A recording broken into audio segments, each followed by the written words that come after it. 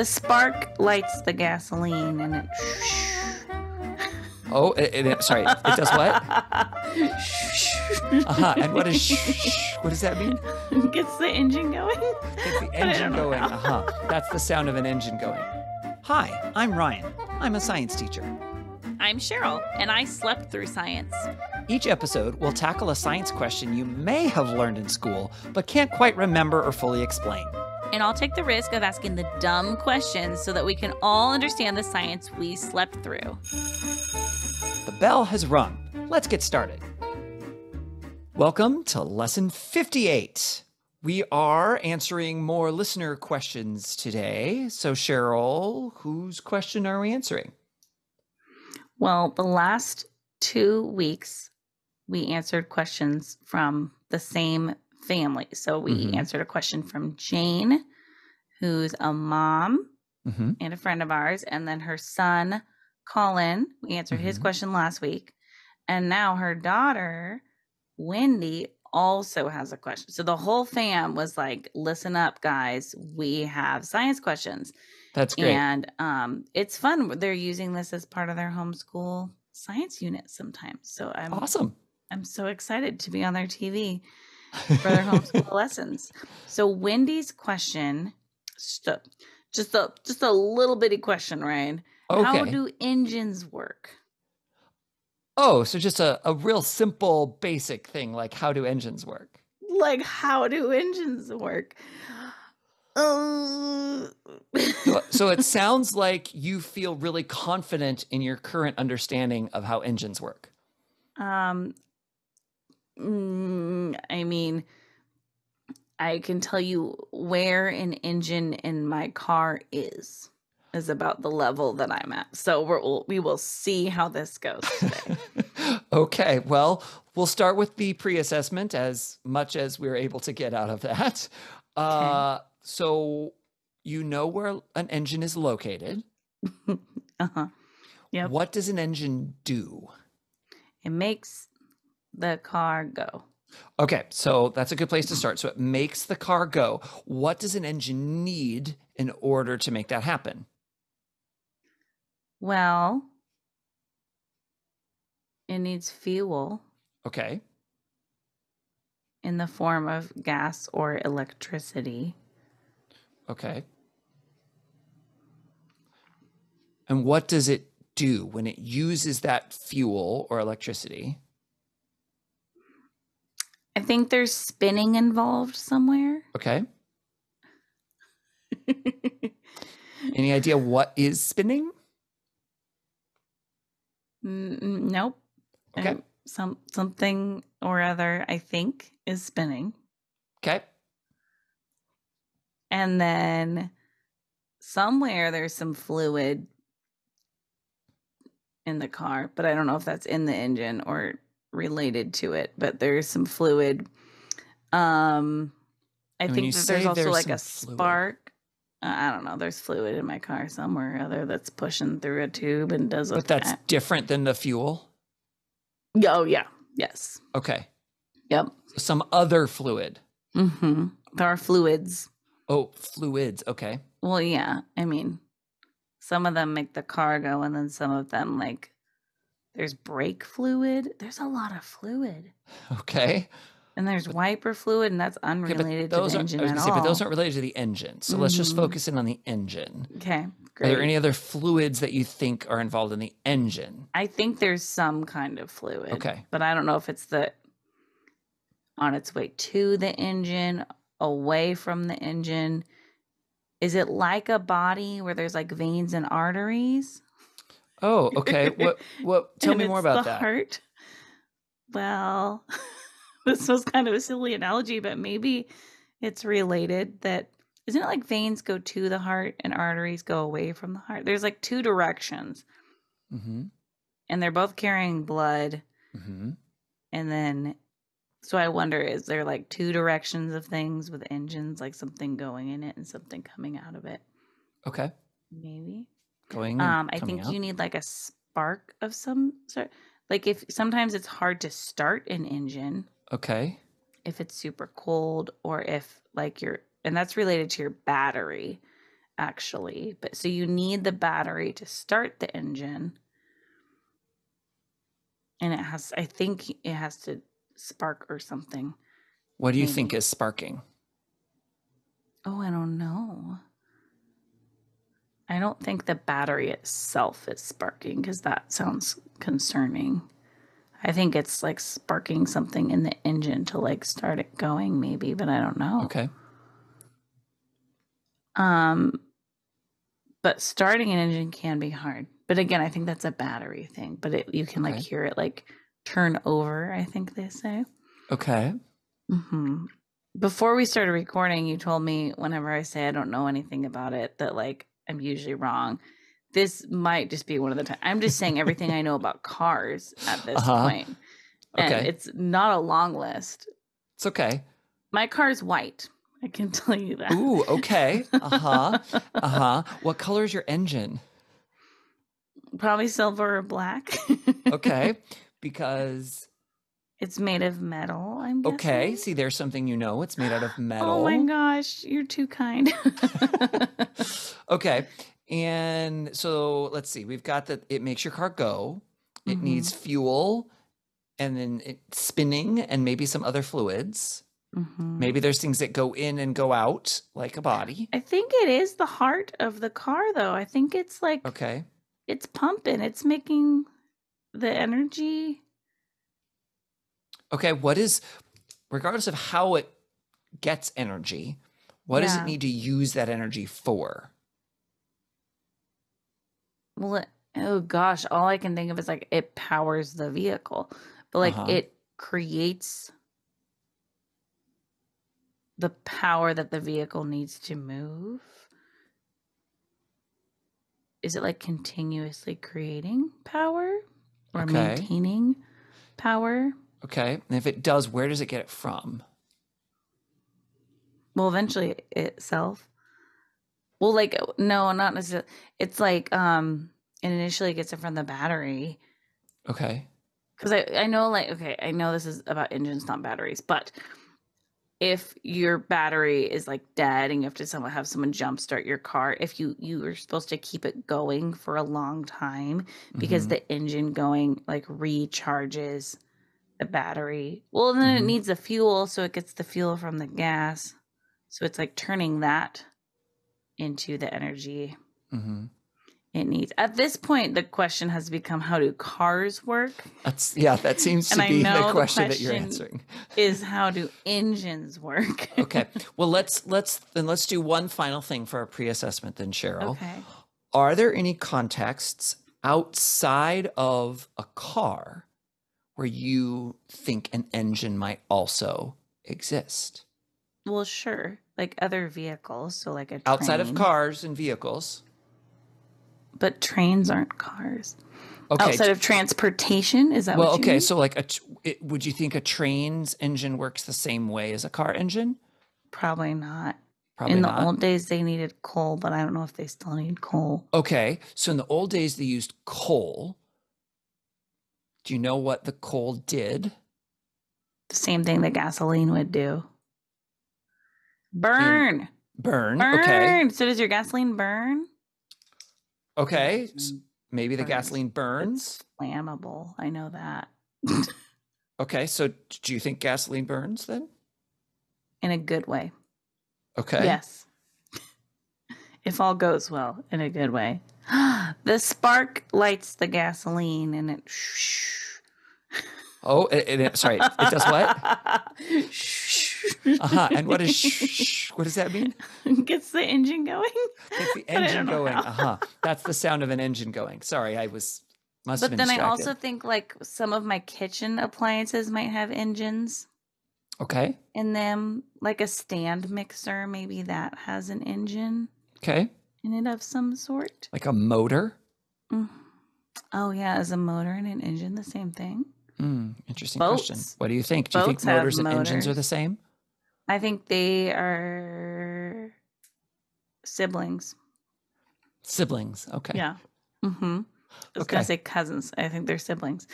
Um, what else? Like all sorts of like modern.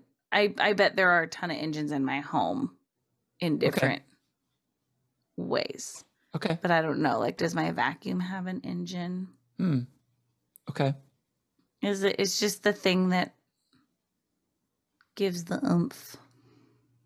The I know I've used- that gives the oomph. Uh huh. Yeah, I know I've used oomph on this podcast before because I said that something had more oomph. Mm-hmm.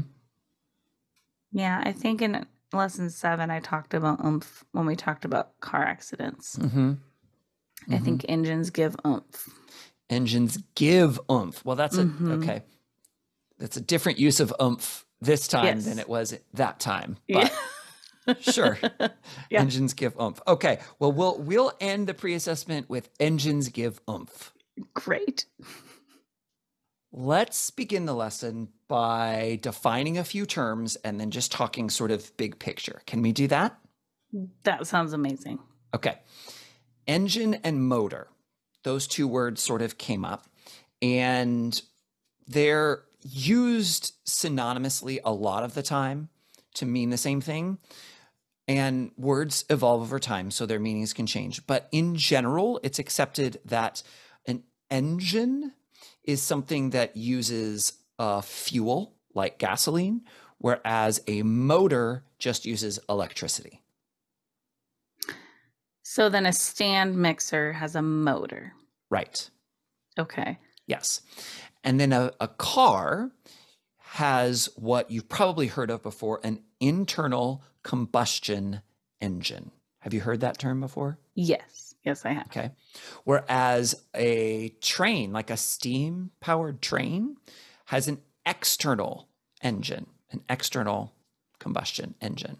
And we can talk about the difference if that actually matters. But let's focus on the car because that's sort of where you were focusing. And I was trying to get us broader to try and help you think more about it, but I don't know that that was all that helpful. So we'll just focus on the internal combustion engine. Internal meaning it's inside, great. Engine, which is okay, it's causes something to move. The combustion part, though, we actually just talked about combustion a few lessons ago. Do you remember talking about combustion? Yes. When we answered Jane's question, Mhm. we were talking about things burning. Exactly. Do you remember what it means for something to combust? Oh, goodness gracious. Um it's the process. It's a process Mhm, It is. and it's uh a chemical change, the chemical Mm-hmm. change of burning. Like I, I can't It think of the right burning. word beyond okay. that. Yeah. Yeah, no, it is. It, it is. It's a it's a specific process that involves a fuel source of some kind reacting with usually oxygen, but technically an oxidizer, but it's usually oxygen to produce energy, releases energy, and you end up with carbon dioxide and water as products at the end. Does that sound vaguely familiar? Yes, because I remember when we talked about fires that I didn't believe that water was Mhm. one of the things that came out of it. right. Yeah. Do you do you believe me now, or still maybe not so much? I mean, I believe you, like, as far as I don't think you're lying to me, Uh huh. but it's like hard in those con- when I'm sitting at a campfire, it's hard to picture that there's even more water vapor in the air. But like, Mhm. I Sure. I believe that I cannot see it and feel it, and it could Yeah. still be there. Okay. All right. Yeah. In the case of a car engine, what is the fuel? Most of the time, the gasoline. It's going to be gasoline. Yep. Yeah. You've got gasoline, and gasoline goes through combustion. That's what combusts, and it's combusting inside the engine. You talked about a spark plug, Yep. and in some engines, yes, the spark plug is what's used to start or ignite combustion. There's actually in a diesel car, it works a little bit differently, and they actually just use high pressure, but we're not going to worry about that. The point is, you combust, or you could think of burn or light on fire gasoline. You mentioned gasoline is flammable. Yeah. And just like we had talked about with the dust and other things like that, like I think I think that was the episode where I I showed you a molecule of glucose. I don't remember. Remember when I showed you this? I definitely remember that. Yes, it's a whole mess of molecules. It's a whole mess of atoms that are all connected together Atoms. to make Okay. to make one big molecule. This one happens to be glucose, um, and it's not the same as gasoline, in case you were wondering. Um, but we can use it as sort of an analogy of of thinking about it because, in a sense, there's very very similar things because it is a hydrocarbon because there's hydrogen and a whole bunch of carbons, and there's also oxygen, right? Um, and when you break a molecule like this apart, and then reform it into carbon dioxide and water, there's energy that's released through that process. That makes Tracking. sense. Okay. Yep. And that's what, but it takes a little bit of energy to go in in order to break those apart in the first place. Okay. Okay. And so that's like with this, with my model example, I have to pull it apart. So I have to put in some energy. But then once I do, if I let it go, the whole thing's going to like fall apart. Right. And so, Yeah. similar thing, it's on its own, it's stable. But if you put a little bit of energy in to break apart some of those bonds and then they reform into other things, you can actually have a bunch of extra energy at the end that then you can use to do things. And Okay. so, by igniting a fuel like gasoline, okay, uh, you're actually able to start breaking those bonds apart, forming carbon dioxide and water molecules, and releasing a lot of that extra energy that's in there. And that energy, in the case of an engine in a car, and I'm going to super simplify, okay? I'm not going to go into all the I'm- details. I'm very happy about that. that energy is used through a whole bunch of mechanical processes to turn the wheels of the car. oh, okay. When you talk, you know, a car could be like front wheel drive or rear wheel drive, rear wheel drive or all wheel drive or Mhm. four wheel. The idea is how many of the wheels are being driven or powered by the engine. Most just passenger vehicles are two wheel drive, either the front two or the back two, which means there's only actually power from the engine going to two of those wheels. The other ones just Mm. roll because Yeah. the rest of the vehicle is going. Okay. And so Okay. that's what the engine is actually powering is the wheels to turn. And there's a whole lot of mechanical processes in a car that make that happen that are not, I think, what the point of this is today. okay. okay. You look like you have a question. Well, so then like the other things that are happening in my car, like this the little screen in my car and the the lights and the other things, those are Mhm. being powered by the battery. No, they're also being, well, yes and no. Um, hang on, I was trying to simplify things. So the battery is used to to get the engine started you mentioned that to like Mhm. whether it's a spark plug or whatever to give power to start the fuel burning because you've got to get it started somehow right you have to have that Mhm. energy from somewhere that external energy that gets the whole process started and then once the engine's going one it generates a lot of heat so that's why you you know your car has to monitor its temperature. That's also why if you're really really cold and you try to turn the heater on it doesn't work right away. Yep. because Mhm. the engine is generating a lot of that heat. Um, and so, sometimes cars also have their own heaters as well but a lot of the heat that heats your car comes from just the leftover heat from the engine. Because engines are actually really inefficient as far as the amount of energy released when the gasoline is burned most of it can't actually be used to move the car. A lot of it just goes into heat that you can't really use for a whole lot. So it's kind of wasted. That reminds me of light bulbs. yes. Yes. When we talked about the incandescent bulbs were very inefficient and a lot of it went to heat. Yeah. it's it's the same thing. Yep it's i mean obviously it's a different process but yes it's the same thing where that energy does go somewhere it's just not in a usable form for us as far as moving a car or lighting a room and so if you can make things more efficient as far as that energy goes right? That's part of what Yeah. they talk about when they talk about fuel efficiency, right? You can Yeah. get more, mo for the same amount of gasoline, you can get more distance out of your car. You can t- power more things, like that whole idea for fuel efficiency. Does that sort of make sense? Yeah, that Okay. totally does. Um, two other questions Mhm. then.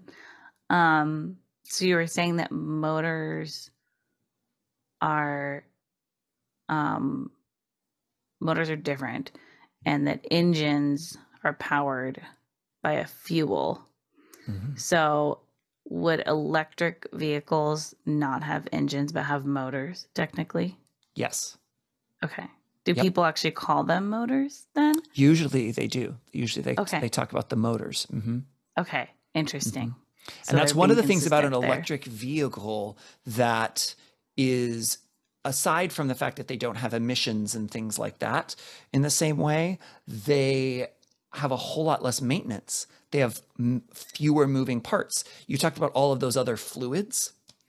A lot of those other fluids aren't necessary in an electric vehicle because it's not doing all of these other things. It doesn't need oil for all of these parts that are moving past all the metal parts in the engine that are moving past each other that they need to be lubricated so that they don't like scratch and rub and all that sort of stuff. And it doesn't need a whole bunch of these other types of fuels because or uh, fluids because it, it it doesn't have to do all those things. Electric vehicles are actually a lot simpler Interesting. yeah, internal combustion engine that's really cool. vehicles.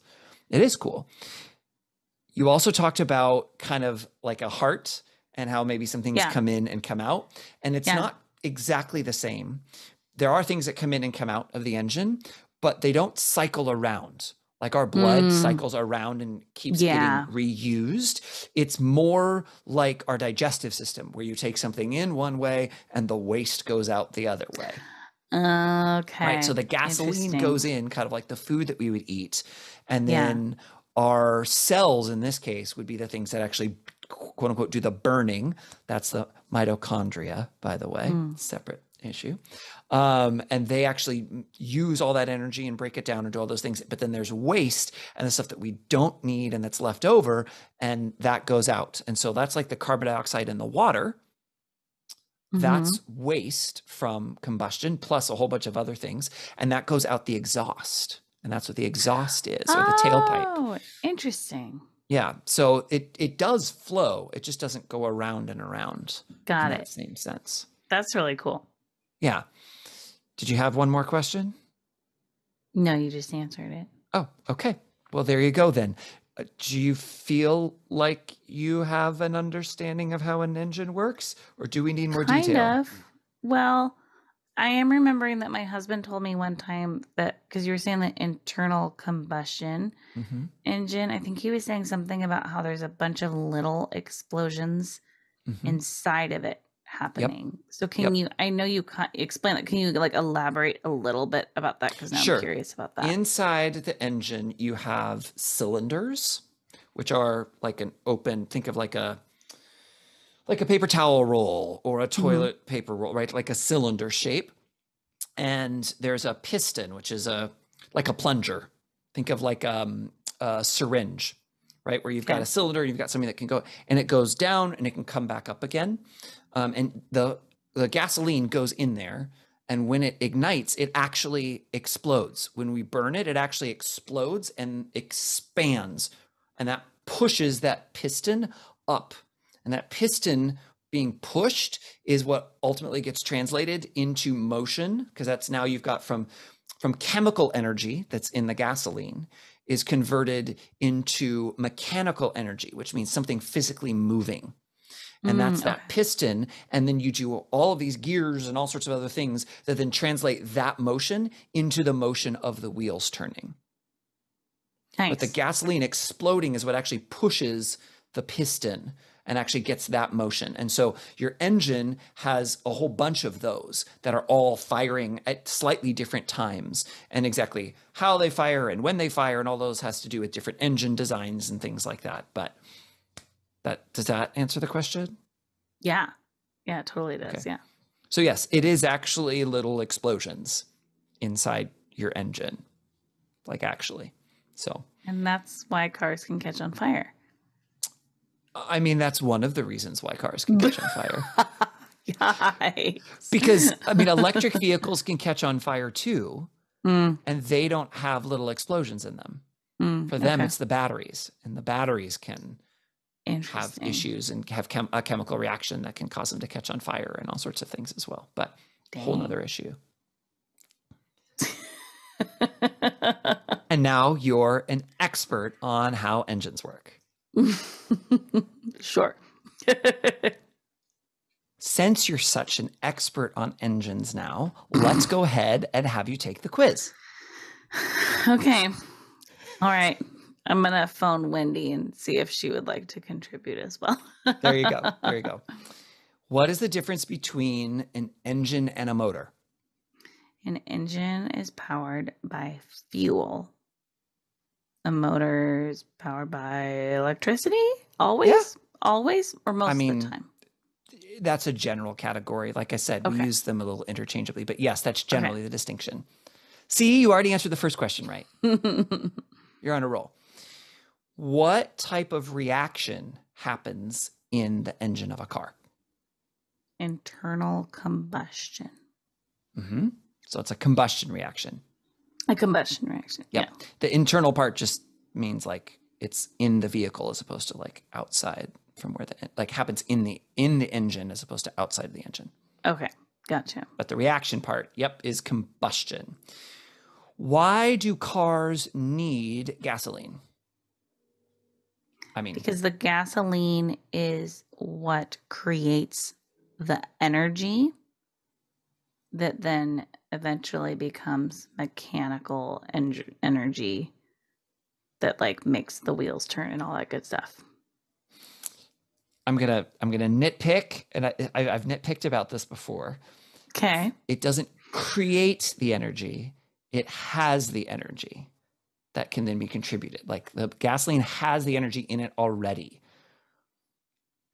Could you say okay, could you say that the gasoline like when it explodes that that creates energy Nope. or it still doesn't So- create energy? No. So here's, and this is a separate issue, but there is a law in science, one of the laws of thermodynamics, Okay. that says that energy is never created or destroyed, it only changes forms. And this is why I keep coming back to this and I keep harping. Oh, it's like a big ener- deal. Oh, it is a big deal. Like energy is not actually created. We're moving it from one place to another and from one form into another. So, right, it's in the form of chemical energy when it's in the gasoline, and then it changes into the form of mechanical energy and thermal energy, heat energy when it explodes. But it's you can't end up creating more energy than was already there in the gasoline in the first place. Okay. That's really good to know. And I might remember it more now that you told me it's a Okay. law because I don't want to break the law. Um, but then my question is Does the gasoline already have the energy before it's ex- it's on fire or exploding? Yes, yes it's just Gasoline stored. just- The gasoline is storing the energy. and then it like sets it off. It releases that energy. It- Mhm. Okay. Think of it like a battery. A battery has Oh. energy in it. It's just not doing anything until you put it in your device. And then that energy is moved into the device. Okay. That's that's a helpful analogy. Yeah. Okay. And we can talk more about maybe we need to talk about energy sometime too. Because Uh, that's a apparently because because it, it's still this like it's still like I, i'm just taking your word for it at a certain Mhm. extent that things have energy and that energy like Yeah. becomes light and all sorts of wild things Yeah. And energy is actually more complicated to understand than I think people mostly realize. I was just correcting some quizzes for my biology class earlier today and that was the part that was the hardest for most of the students was talking about the energy part. They could talk about the matter, they could talk about the molecules, but the energy was the part that was more confusing. So that's it's it's more complicated than we think even though hmm. we use it all the time in our everyday language. yeah All right. Question four What substances are in a car's exhaust and why? Carbon and water. Okay. And why is that um that's what's left over after the reaction happens with the gasoline is I forget the term for the things you have left over. I know we've talked about it a couple times. The things you have left over are those things. Mm-hmm. The product created. You're right. it's not created. Yep. They're called the it was products. already there. Okay. Mhm. The products of the okay. reaction. Yep. And it's carbon dioxide and water. Oh, okay. That, yeah. Yep. And actually, technically, it's more complicated because there's some carbon monoxide and other things too. But yes, for the combustion reaction, combustion reactions, part of that reaction is that they produce carbon dioxide and water. And so that's a big part of the exhaust. What are they measuring when you go to like an emissions test? I don't know off the top of my head, but I'm guessing they're partly measuring how much carbon dioxide and other things are in it, um, Okay. other quote unquote pollutants. All a pollutant is is something that is not supposed to be there that's there. It's kind Yeah. of like a weed, right? Like a weed is just a plant that's growing where you don't want it to, Yeah. right? Like it's not like a Yeah. botanical like designation per se. Um, So pollutant is kind of a similar thing. It's a little bit more biological than that, but Okay. um, so it's something that's not supposed to be there that's there. So what exactly they're measuring, I don't know, but it's definitely some the stuff that's coming out of your car because when your car isn't working correctly, sometimes it can burn things it's not supposed to burn, like burning Oh, okay. oil and other things, and that'll put Yeah. even more of those particles into the air that we don't want there. Interesting. yeah Last question. How does an engine make a car move? All the things we just talked about. For example, so when there is that chemical Mhm, reaction, mhm, um, that makes little little explosions, mhm. and then the explosions are in the cylinder, hmm and then that causes pressure for the Mhm. so the piston goes up. Hmm and as it's going up and down then all of a sudden you have mechanical energy Uh huh. Nice job. and eventually that makes the wheels turn Mm-hmm. Yep. That mechanical energy gets translated through a whole bunch of things that eventually allows the wheels to turn around. Mm-hmm. You got it. Look at that. You know how an engine works. You're an oh my expert. gosh You should you should start to be an auto mechanic at this point because you're you know it so well. Mm-mm. nope nope No? nope nope nope Okay. it's so not natural to me it's not Yeah. a good plan Well, Me neither, actually. I just I like the science part of it, but the actual mechanical part, I'm not very good at. So I'm very glad that there are other people who are who Me can too. do that when I can't. yeah All right. Well, I think that's it for our lesson on engines. Why don't you go ahead and pack up your stuff and get ready for my closing remarks? You can follow us on Instagram and Facebook at I Slept Through Science or on Twitter at Slept Science. If you have dumb science questions like I do, please send them to us. You can email us at I slept through science at gmail.com, or you can even send us a voice memo and we'll play it on the podcast. Please rate and review our podcast to tell other people what you think about it, subscribe to make sure you don't miss an episode, and share about our podcast on social media. Thank you to Beth Reed Miller for the artwork. You can check out more of Beth's artwork at Beth is Something. Okay, great. Thanks. Bye. Ah! The bell doesn't dismiss you, I dismiss you.